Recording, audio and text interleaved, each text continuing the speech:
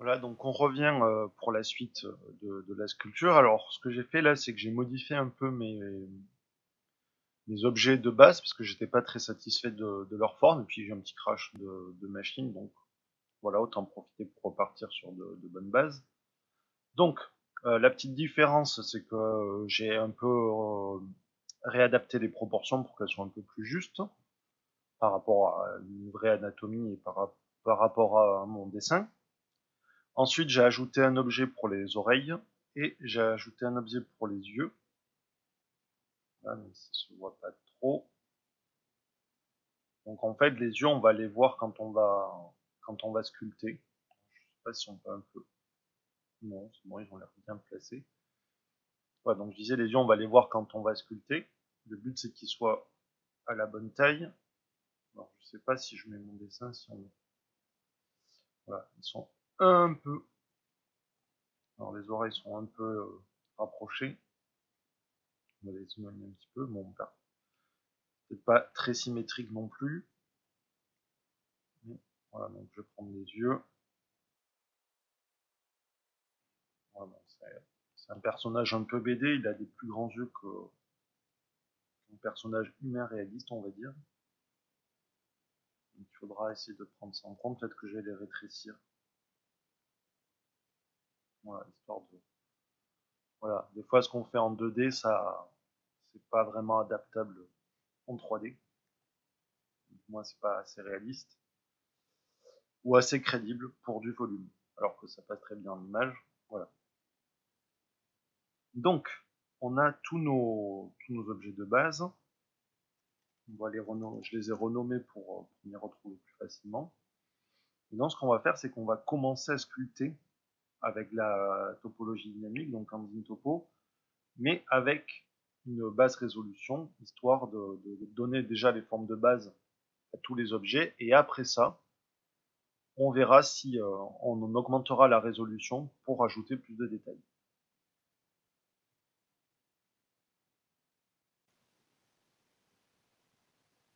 Donc j'ai commencé par le visage, donc ce qu'on va faire c'est que on va ajouter un modificateur subdivision surface, histoire qu'on ait déjà quelques subdivisions, et là, pour l'instant, à 1 ça suffit, je vais appliquer. Alors le fait de faire ça, ça permet, quand on va ajouter la topologie dynamique, de ne pas avoir un écart trop grand entre euh, la résolution. Par exemple, si j'avais utilisé le cube de base et que je passe directement en dynamique topologie avec une résolution 20, des fois on peut avoir des, petits, euh, des petits, problèmes d'ombrage. Là, donc là, on va atténuer la transition entre la très haute résolution de la sculpture et la définition du maillage de base.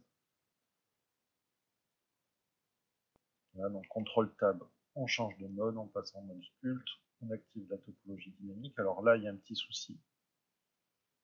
Un petit message d'erreur, c'est parce qu'on a mis des maps, donc on va l'enlever. Ne pas l'avoir. Donc en topologie dynamique, on va choisir digital constante, donc détail constant, et moi je commence avec une résolution de 20. Et donc on va commencer à sculpter pour, euh, pour avoir la forme de base. Donc après là c'est à vous de voir euh, qu'est-ce qui vous convient le mieux. Moi, personnellement, j'aime bien commencer par, euh, par euh, les, créer l'orbite des yeux. Ça permet déjà de, de façonner un peu le visage. Donc, une fois qu'on a créé l'orbite, je vais marquer un petit peu l'arcade sourcilière. Donc, c'est bien si vous avez des références anatomiques euh, savoir comment est fait le, squelette. En fait, c'est à partir de, la structure des os et des muscles qu'on va réussir à avoir quelque chose de crédible quand on va sculpter c'est toujours bien d'avoir, moi j'ai quelques images euh, dans qui me permettent de, garder, de garder en tête des références anatomiques pour, pour, pas, pour pas, pas sculpter n'importe comment. Donc voilà, donc avec l'outil Draw, je commence par, euh, creuser les, orbites et puis ensuite je vais venir dessiner les, les paupières. Donc on ajoute de la matière en, dessinant. on refait venir de l'orbite de la matière vers l'avant. N'hésitez pas à lisser un petit peu. Et là, donc, je vais me baser sur mon dessin pour donner la, forme de paupière que j'avais fait en dessin.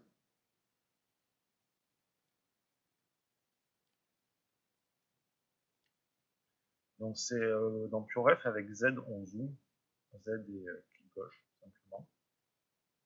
Si vous n'avez pas de molette de souris, vu que là on est au stylet, euh, on ne va pas prendre la souris à chaque fois. Voilà, et donc une fois que j'ai ramené la paupière avec l'outil grab, donc c'est la touche G. Si on fait de mage entrée, vous allez chercher grab, et on voit le raccourci. Voilà, donc je vais je vois que le, ce que j'ai fait, c'est que la paupière inférieure, elle est assez, euh, assez droite. On va sortir tout ça.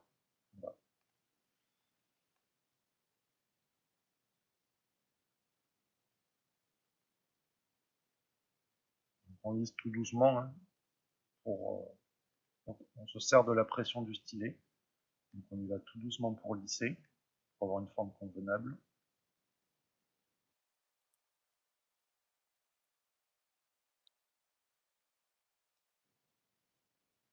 là j'essaye de donner à la paupière la forme de, mon dessin. Alors encore une fois, là on va pas on va pas rentrer trop dans les détails, on va pas va pas faire le canal lacrymal, on va pas c'est juste vraiment pour avoir la, forme de base. Donc à chaque fois je reviens lisser un petit peu parce que parce que ça fait des trucs un peu crado. Voilà, au besoin, là, je vais prendre le clay strip pour ajouter un peu de matière, mais euh, un peu moins que l'outil draw et ça, marche pas mal aussi. je reviens lisser à chaque fois par endroit. Ça va se mettre. Alors sur le dessin, ce que je vois, c'est que donc, la paupière en bas est assez droite. Et donc elle est sur le dessus, elle est un peu plus relevée. Donc je reprends l'outil grab. je vais lisser, je vais reprendre l'outil clé strip, je vais creuser l'arcade un peu sur le côté. C'est là où il y a le, la paupière et le et l'arcade sourcilière.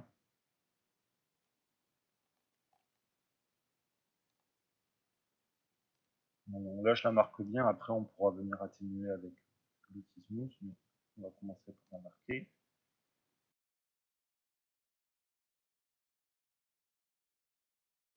Voilà, donc après ça, on va s'occuper du nez.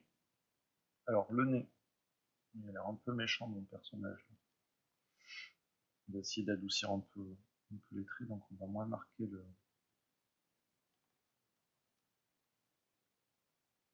L'arcade, voilà, donc le nez. Donc le nez, on va faire trois... Nez, c'est trois petites sphères, au bout. Donc, alors, au niveau des proportion, donc il doit être là. Je vais la bouche d'abord avec l'outil crise.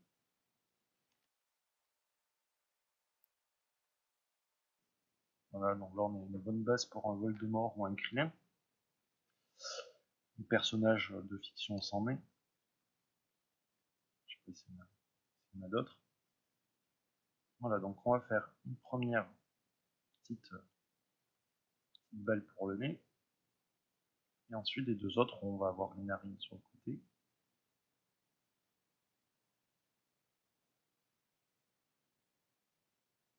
Et puis on va venir, en appuyant plus ou moins fort, faire la, transition. là, je vais prendre mon outil, une flake pour gonfler, et on va lisser. Voilà, ensuite je prends l'outil flatten pour, euh, pour aplatir un peu l'arête du nez parce que c'est une zone qui est assez plate.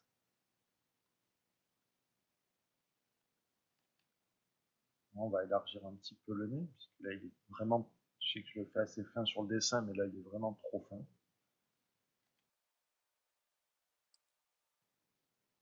n'hésitez pas après à changer de à changer de vue en passant de la vue de, de tourner un peu votre caméra pour ajuster. Euh... Ah bon, là je vois que j'ai fait des yeux hyper enfoncés. Encore que non, ça, peut passer. On va lisser un petit peu. Lisser un petit peu tout ça.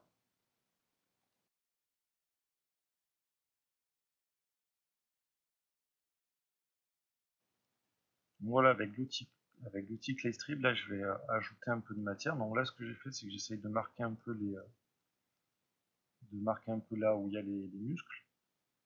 Pour, euh, encore une fois, j'essaie que ce soit un peu plus correct d'un point de vue anatomique. Ensuite je vais marquer la structure osseuse, donc le, le cou et puis la mâchoire.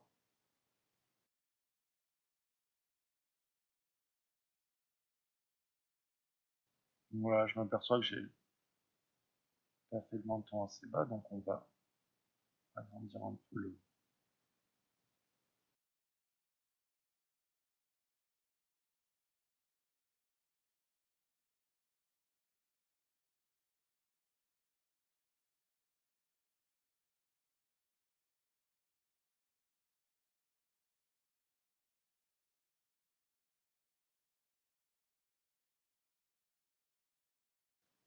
Voilà, donc la lèvre, euh, la lèvre supérieure, en fait, on va quasiment pas la, sculpter, c'est le, reste, le on va faire plutôt le contour. la lèvre inférieure, c'est pareil, on va sculpter un petit peu autour. On va venir lisser, alors, ça peut paraître un peu paradoxal, mais pour les lèvres, je vais prendre mon outil pour aplatir. Dessous aussi. Et puis avec l'outil pinch, on va l'afficher là l'outil, pinch, donc on va venir marquer un petit peu le dessin des, de la lèvre supérieure et à la moitié de la lèvre inférieure. Alors là on commence à manquer un peu de résolution, mais voilà, donc on a notre base, on va peut-être faire une narine. On va faire une narine, je vais aplatir un petit peu sous le nez. donc là mon nez est assez, euh, assez prominent, j'ai lissé un peu pour essayer de le diminuer. On va un petit peu. ne ressemble plus à grand chose, donc on va bouger quelques points. Et voilà, là je vais venir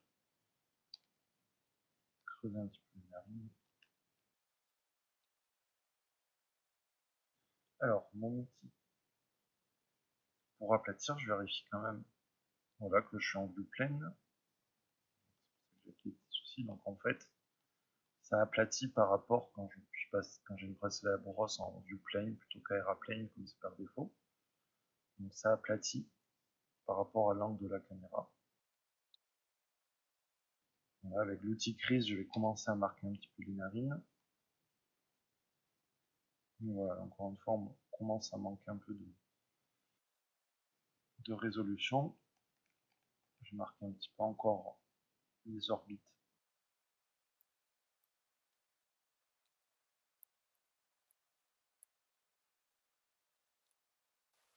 Voilà, donc on va continuer euh, avec les autres, euh, avec les autres pièces on va faire le buste. Alors lui aussi, on va lui ajouter un, comme à tous, hein, un modification subdivision surface, histoire d'ajouter un peu de, de densité au maillage. On applique, on enlève le map et on repasse en mode sculpt topo dans constant detail à 20. Voilà, donc là ce que je vais faire c'est que je vais marquer un petit peu là où il y a des, coutures. Donc avec l'outil crise. On va activer avant ça l'option faiseur est activée donc voilà pour les vêtements on va marquer les coutures on va marquer quelques plis aussi alors là mon souci c'est que j'ai pas mis d'épaisseur mon vêtement du coup là je vois qu'il rentre dans le, donc on va le sortir avec petit grab là aussi On prend l'outil crise pour creuser, puis je vais prendre l'outil pinch pour rapprocher. Un petit peu tout ça.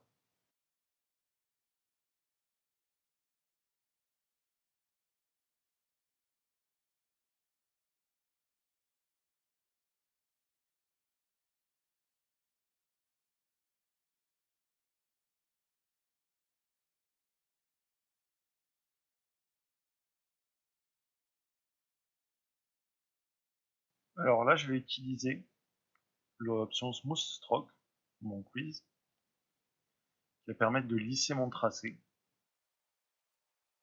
Donc on voit qu'il y a un petit trait qui apparaît, un petit trait rouge. Alors j'ai été un peu trop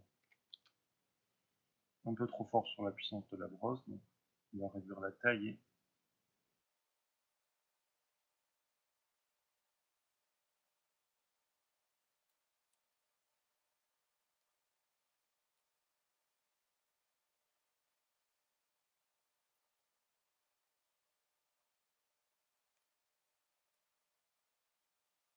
Voilà, cette pièce-là, c'est une pièce qui est, assez simple.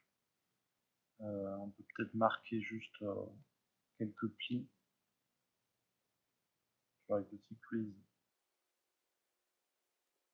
après on va lisser. Je vais désactiver le smooth. Voilà, donc là c'est surtout la, texture euh, avec le vêtement rayé qui va venir détail. Donc voilà pour, cette partie-là. Voilà, donc on reprend avec le pantalon. Donc pareil, on enlève les maps. On va ajouter. Alors, non, on va pas le faire, on va comme ça. On va ajouter un subdivision surface. À deux. Mal.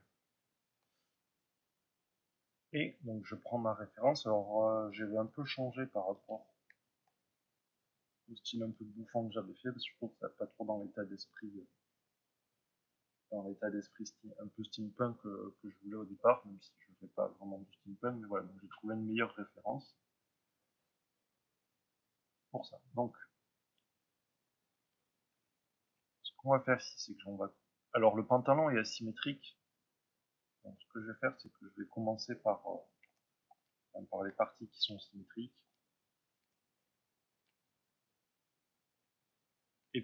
Et puis on va revenir ensuite sur, euh, toutes les parties asymétriques. au niveau des parties symétriques, donc on va tracer les coutures qui sont sur les côtés.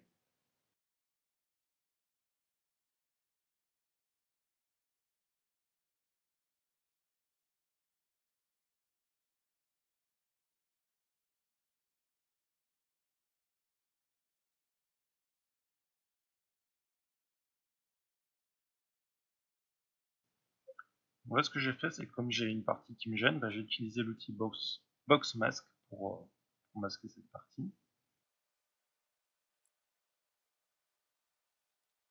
ok, le souci c'est qu'en faisant ça, la symétrie n'a pas fonctionné. Donc tant pis, on va se débrouiller. Ou alors, attendez, on va peut-être expérimenter quelque chose. On va reprendre prise.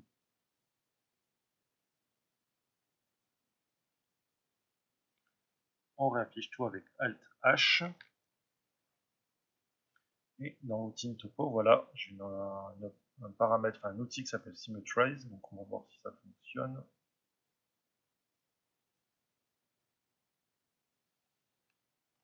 Alors je l'ai fait dans le mauvais sens, donc c'est de plus x à moins x.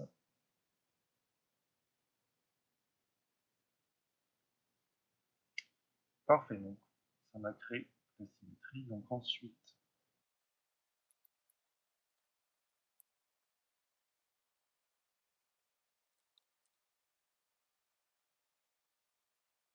alors là, peut-être que plutôt que d'utiliser un, space, on va utiliser un line pour aller tout droit.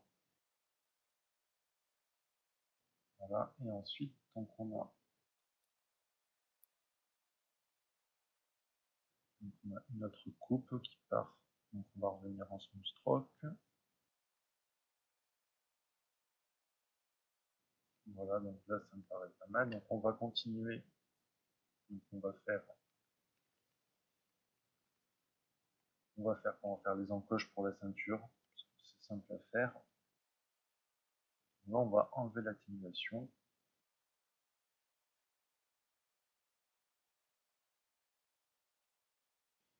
J'essaie d'aller vite sur cette partie là parce que si j'ai pas si je me trompe pas.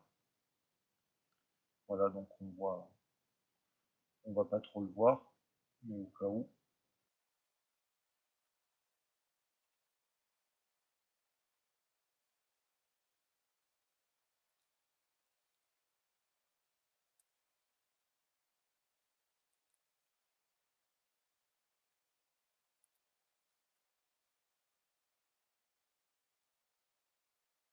On va creuser la poche.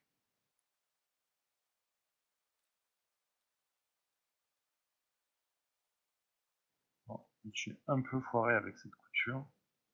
ce que je vais faire, c'est que je vais essayer de la lisser. Donc là, j'ai pris l'outil fil qui permet de, boucher les, trous. C'est ou pas On va faire avec celui-là aussi. Voilà, donc c'est pas grave si on se trompe. Hein. Il n'y a, pas de, pas de souci. Les outils sont assez, assez simple, on peut revenir rapidement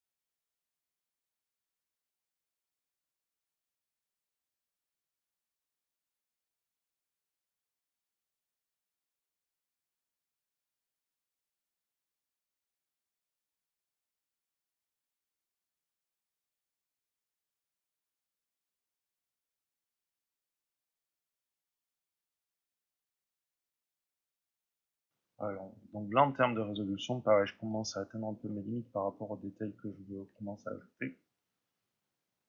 Donc je vais m'arrêter là et je reviendrai plus tard dessus pour ajouter d'autres détails, et notamment tout ce qui est euh, asymétrique.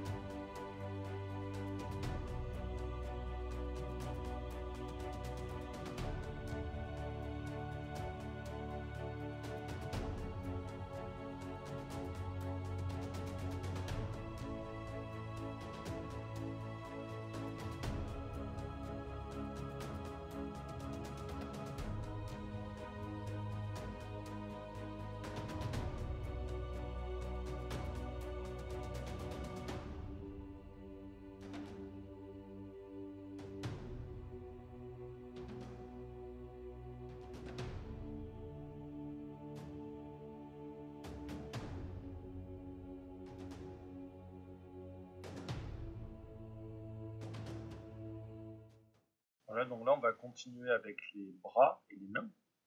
Dans les bras, il n'y a pas la forme va rester un peu comme ça. On verra après si on marque un peu plus les muscles ou les os. Mais voilà, là on va surtout travailler les gants. Alors comme vous voyez, le personnage il a toujours pas de doigts. En fait, ce qu'on va faire, c'est qu'on va d'abord euh, sculpter un peu la, le, gant.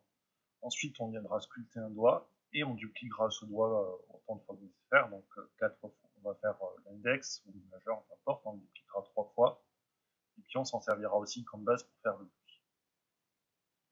Mais pour l'heure, donc on va continuer. Donc on va encore enlever le map À chaque fois, je suis parti d'un cube qui a une map de base, donc à chaque fois, c'est vrai qu'il faut le, enlever. Alors au niveau du maillage, on va ajouter un petit peu quelques, quelques coupes.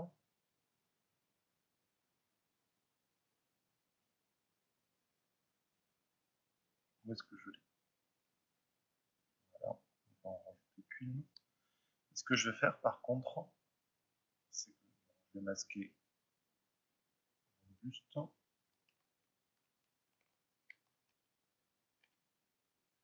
là, il manque un peu de...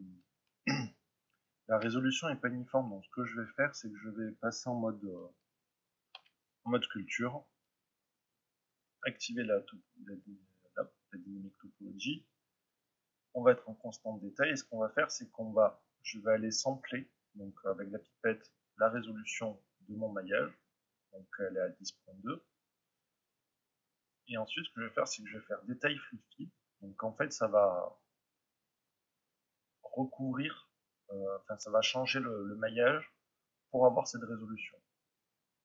Un petit peu. Alors ça fait des trucs pas forcément euh, jolis, mais par contre on a quelque chose de plus, euh, plus homogène.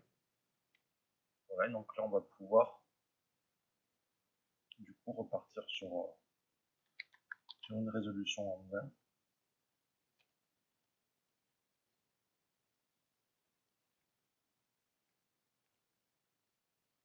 Ok, donc là, je m'inspirais de, de, cette paire de gants. C'est que j'avais pas fait des mitaines, mais euh, en cherchant un peu plus loin, j'ai trouvé cette paire de gants, je trouvais qui allait bien, qui irait bien au personnage. Donc,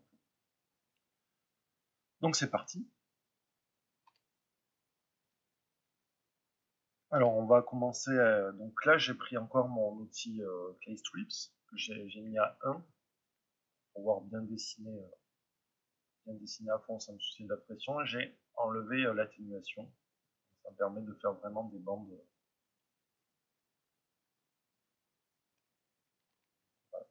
Là, je vais commencer par faire le, contour du poignet.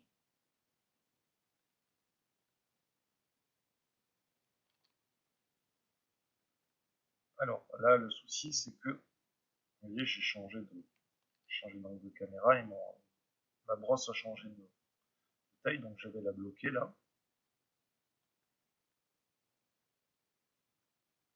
Comme ça, peu importe l'angle de caméra, ma brosse fait toujours la même taille, ça me permet de faire le contour du bracelet de façon homogène. Alors oui, entre les deux, entre les deux vidéos, j'ai changé euh, la focale de la, de la vue 3D, donc on était à 50 par défaut, je passe à 85 que c'est plus pratique pour sculpter, on a moins de, moins de déformation dû à la lentille, enfin de la lentille virtuelle on va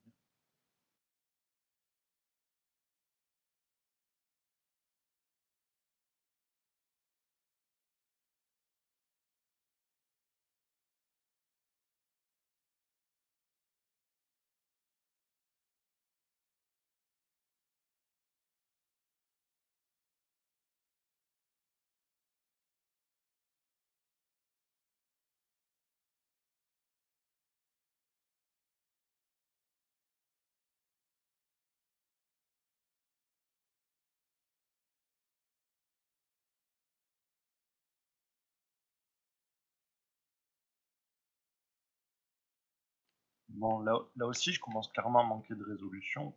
Donc, je vais, je vais m'arrêter là. Je vais juste commencer les oreilles. Voilà, donc les oreilles, en fait, je vous ai mis cette image-là pour bien la topologie.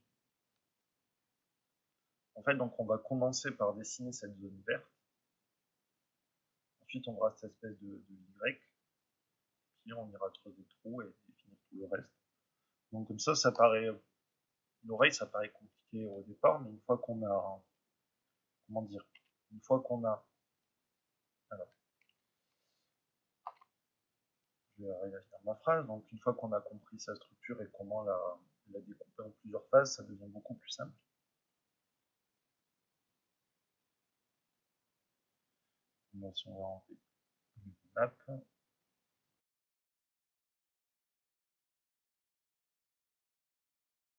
Donc, comme je disais, on va sculpter le, contour.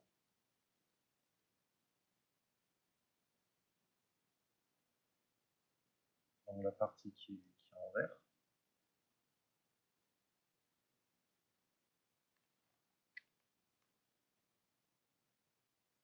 On reviendra après atténuer un derrière. Ah. Donc ensuite on a cette espèce de, Y. Alors, ici on voit que je commence à être en, manque de, de, résolution, donc je vais juste essayer de faire la forme de base. Et puis après,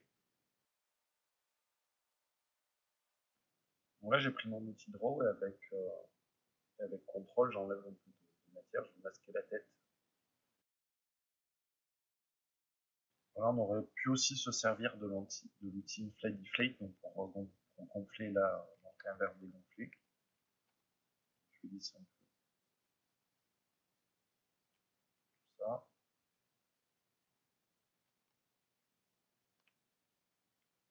Alors là, les éléments sont séparés, mais après, vous on va tout, on va tout bien remettre, on va tout bien remettre en place et tout accrocher ensemble.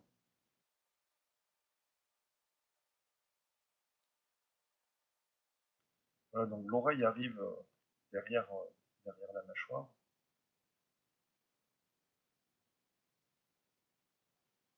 J'ai vraiment un peu mais c'est pas grave. De toute façon, on viendra, je pense qu'on viendra ajouter les détails de l'oreille quand on passera au niveau de détail plus élevé pour, tout le maillage et qu'on aura fusionné toutes les parties.